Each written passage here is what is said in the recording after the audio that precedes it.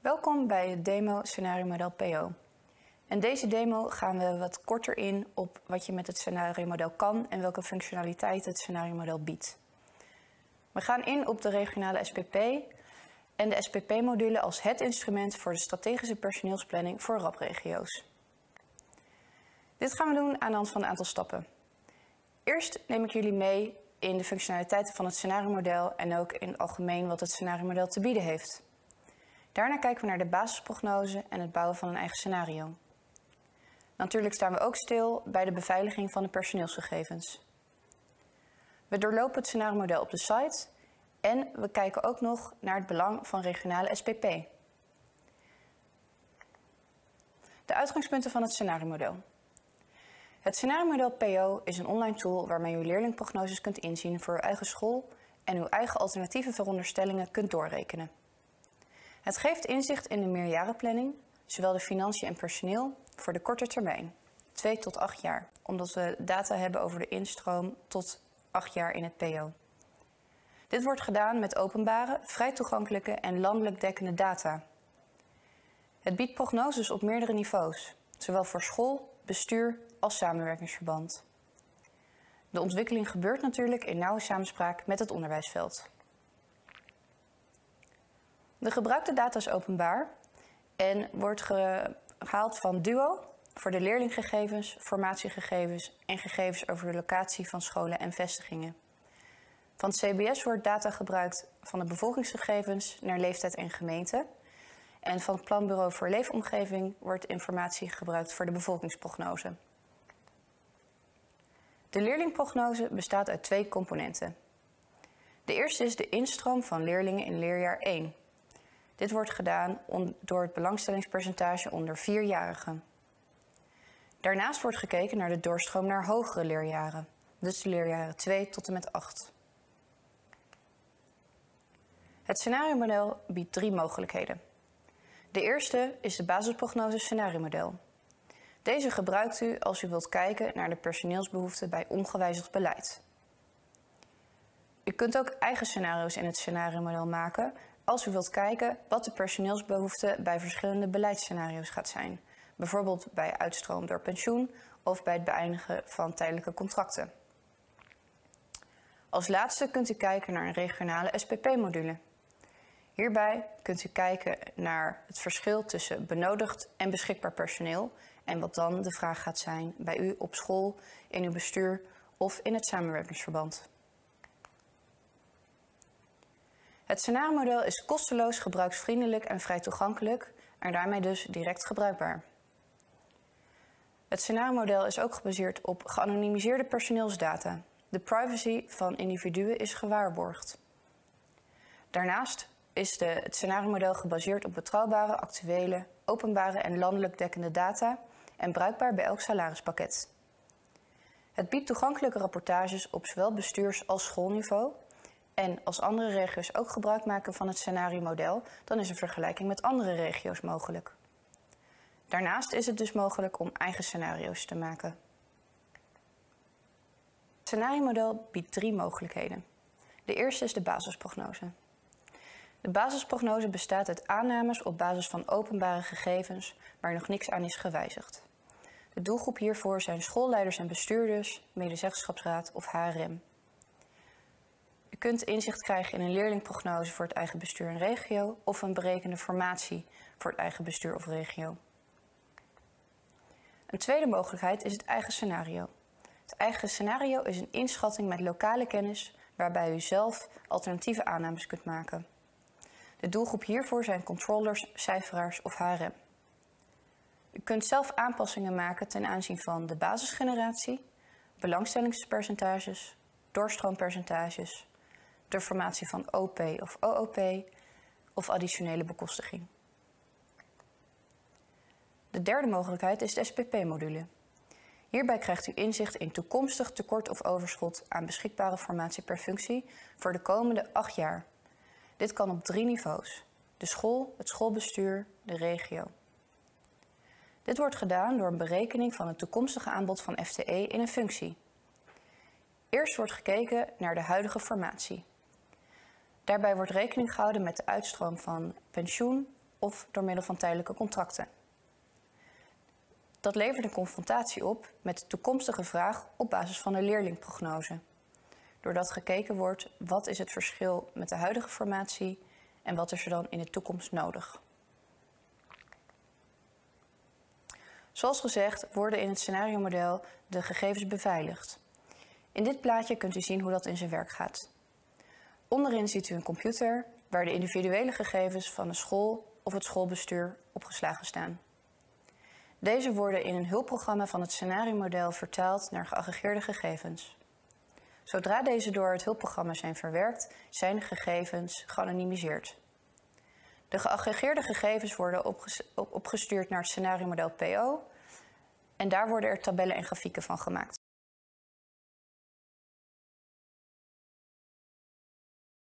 Hier zie je de homepage van het scenario-model PO. Onder basisprognose in te zien kan je hier rechtsboven op basisprognose klikken of naar onder scrollen en dan bij basisprognose bekijken klikken. Hier, hier zie je de rapportage van de resultaten van de basisprognose. Hier gaat het in op de leerlingenprognose en daar zijn drie reportages van, namelijk leeftijd, woongebied en samenwerkingsverband. Je hebt de invoerbestanden die gebruikt worden om de prognose te maken en dat zijn de basisgeneratie, marktaandelen, doorstroomkansen. Tot slot heb je ook nog de nabewerkingen en dit gaat over de bekostiging en de formatie. En je hebt ook nog voor het speciaal onderwijs, basisonderwijs drie rapportages, namelijk leeftijd, SBO, bekostiging SBO en formatie SBO. We gaan nu twee rapportages bekijken, namelijk leeftijd, dus de leerlingenprognose naar leeftijd. In dit rapport zie je de leerlingenprognose voor het basisonderwijs per kalenderjaar onderverdeeld naar bestuur, school en leeftijd. Fusies van scholen en of vestigingen zijn verwerkt in het model. Links kan je een selectie maken naar bestuur, naar school, naar leeftijd en naar leeftijdsklasse. En hier in de tabel zie je dan het aantal leerlingen per school en per bestuur. En ook per leeftijdsklasse. En hierboven in de grafiek kan je nog op een lijntje staan en dan zie je ook de leerlingaantallen. Dan gaan we nu nog de rapportage formatie bekijken. In dit overzicht zie je een prognose van de benodigde formatie in F2 onderverdeeld naar directie, onderwijzend personeel en onderwijsondersteunend personeel. In het startjaar van de prognose wordt een leerling-medewerker-ratio berekend. Deze ratio wordt gedurende de prognoseperiode gelijk gehouden. De formatiegegevens uit het startjaar zijn gebaseerd op de data die de salarisadministratie aan DUO heeft geleverd met peldatum 1 oktober 2020. Ook hier kun je links weer selecteren op bestuur en op school. En dan zie je weer in een grafiek en een tabel de eh, benodigde formatie in FTE per schooljaar en functie.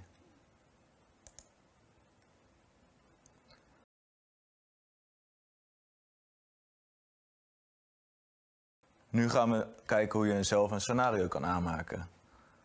Om zelf een scenario aan te maken dien je jezelf eerst te registreren op deze pagina. En als je dat al hebt gedaan, dan kan je inloggen.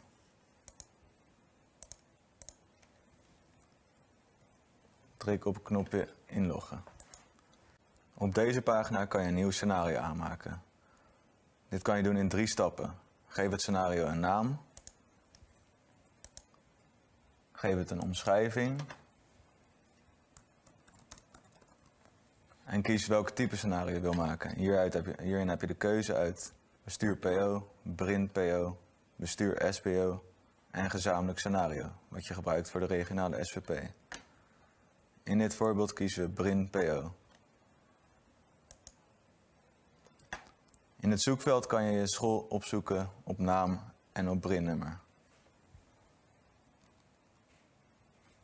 Als je een school wil selecteren, dan wordt die blauw en dan druk je op je pijltjes naar rechts. Wil je een school D selecteren, doe je hetzelfde en dan druk je op de pijltjes naar links. Wanneer je alle scholen, scholen hebt geselecteerd, druk je op maak scenario. Scenario gaat nu doorrekenen. Nu kom je uit op pagina wijzig data invoer. Op deze pagina kan je de verschillende invoer wijzigen door te drukken op de titel van de pagina. Ik ga jullie even laten zien wat je allemaal kan wijzigen. Je kan de leerlingtellingen van de school wijzigen. En dit kan je ook doen door bijvoorbeeld een Excel-bestand te downloaden en deze daarna weer te uploaden. Daarnaast kan je ook het marktaandeel per school veranderen, marktaandeel per postcodegebied, de bevolkingsprognose, het doorstroompercentage van leerlingen, de formatiedata, gewogen gemiddelde leeftijd en de additionele bekostiging. Wil je niets wijzigen en gewoon met de basisprognose doorrekenen, dan voer je geen wijziging door. In dit voorbeeld wijzigen we dan ook niks. Ga naar doorrekenen en klik op de button doorrekenen. Het scenario wordt nu doorgerekend. Wanneer het scenario is doorgerekend, kom je op de uitkomstenpagina van jouw scenario. Dit ziet er hetzelfde uit als bij de basisprognose. Zo heb je drie uh, uitkomstenrapportages van de leerlingenprognose, zoals leeftijd, woongebied en samenwerkingsverband. Je hebt invoerbestanden die je ook bij wijzig data invoer hebt gebruikt, zoals basisgeneratie, marktaandelen en doorstroomkansen. Daarnaast heb je nog de nabewerkingen van de bekostiging en de formatie.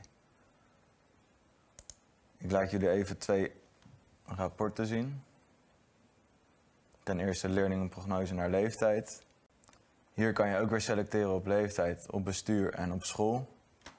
En hieronder in de tabel zie je wat de basisprognose is en wat dan de prognose is van het eigen scenario waarin je data gewijzigd. In dit voorbeeld is dat dus niet het geval.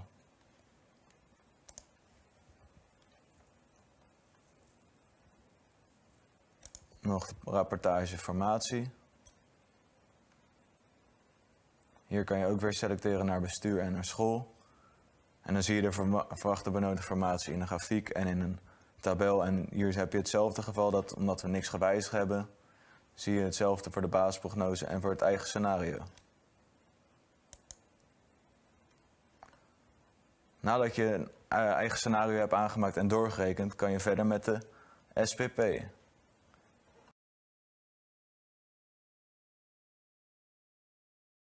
Druk op de pagina SPP om daarheen te gaan. De strategische personeelsplanning kan je hier doorvoeren en je ziet hier alle stappen die je moet doorlopen om dat te doen. Stap 1 is verzamel de benodigde gegevens. Stap 2 download Excel toe en ga naar het hulpprogramma. Stap 3 upload het bestand met de doorgerekende resultaten. En stap 4 is bekijk de resultaten. Als je het hulpprogramma downloadt en opent, kom je op deze pagina terecht. Klik eerst op bewerken inschakelen. Daarna moeten de macro's nog ingeschakeld worden door te klikken op inhoud inschakelen. Hierna kan je aan de slag. Om alle stappen te zien voor het doorlopen van het hulpprogramma, klik op hoe werkt de SPP-module. Als je het hulpprogramma wilt doorlopen, klik op werkboek personeelsgegevens. Je komt nu op de pagina terecht waarbij je eerst de parameters van het SPP-module moet invoeren. Kies hier voor gemiddeld pensioenleeftijd in de eigen organisatie. Ik kies voor 65 jaar en 6 maanden. Kies daarna voor een nieuw werkboek aanmaken als je een nieuw werkboek wil aanmaken. Als je al een werkboek hebt en daar nieuwe gegevens aan wilt toevoegen, kies voor toevoegen aan reeds bestaand werkboek. Wij kiezen in dit geval voor een nieuw werkboek aanmaken. Klik op verder. Het hulpprogramma vraagt nu om in de verkenner het Excel-bestand te openen met eigen personeelsgegevens.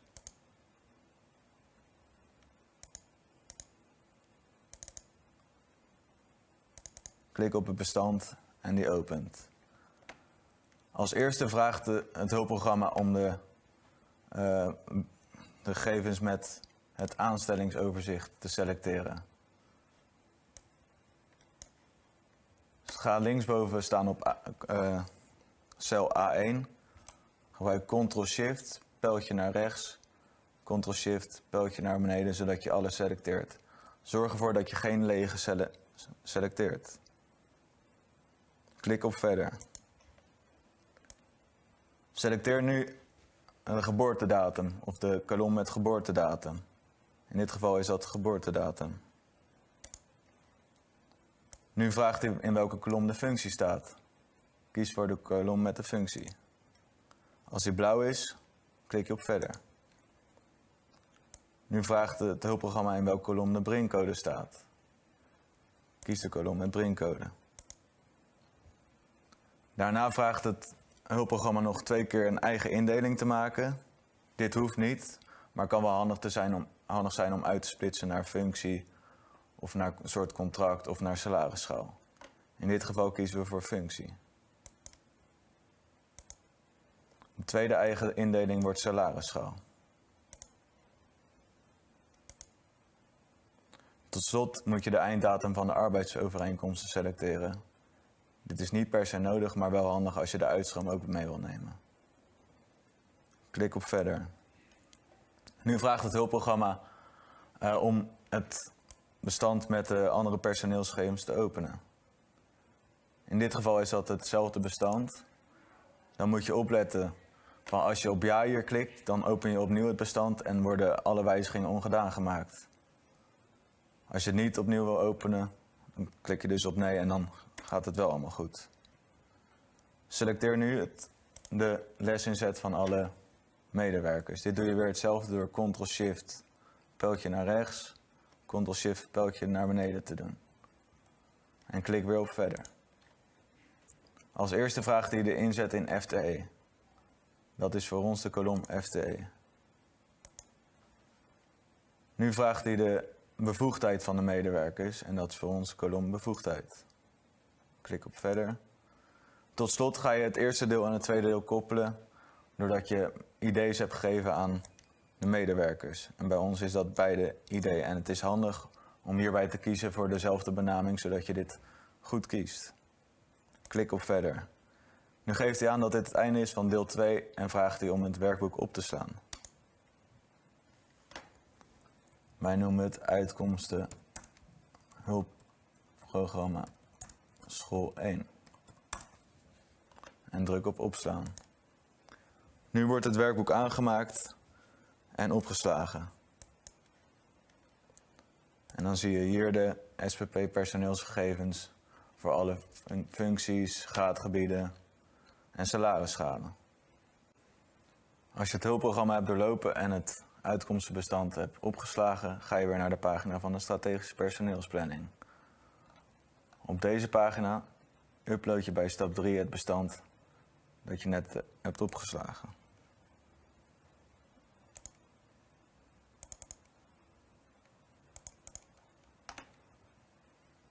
Als je bestand hebt gekozen, kies je voor bestand uploaden. Het werkboek is nu succesvol ingelezen en de berekening start automatisch. Wanneer de resultaten beschikbaar zijn, kan je deze onderaan de pagina bekijken. Bij stap 4 bekijk de resultaten. Bekijk het rapport. Op deze pagina zie je dus de uitkomsten van de strategische personeelsplanning. hier kan je dan links selecteren op school, op functie, op bevoegdheid en op de eigen indelingen. In de grafiek linksboven zie je het aantal FTE per functie in het startjaar. In de grafiek rechtsboven zie je de afname van de formatie in FTE tussen startjaar en het eindjaar. In de grafiek linksonder zie je de prognose van de formatie in FTE en de verwachting van de behoefte in FTE. Hierbij is de paarse, zijn de paarse balkjes de prognose van de formatie op basis van de leerlingenprognose. En is de zwarte lijn de prognose van de uh, uitstroom en van de formatie op basis van pensionering en uitstroom. In de grafiek rechtsonder zie je het verschil tussen formatie, de benodigde formatie en de formatie die aanwezig is. En hier zie je dat er flinke tekorten komen de komende jaren. Je kan alles ook in tabellen bekijken.